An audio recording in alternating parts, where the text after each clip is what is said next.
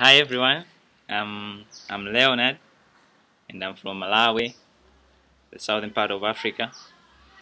And I would like to share with you uh, about magic, about witchcraft, that here in Malawi or here in Africa, we believe that, I believe that magic exists and uh, witchcraft exists. People do practice and uh, people have given witnesses about how they do it and what happened. And even people have reached to the extent of killing each other using magic. So if you don't believe in magic uh, you can ask me anything about it and I'll share with you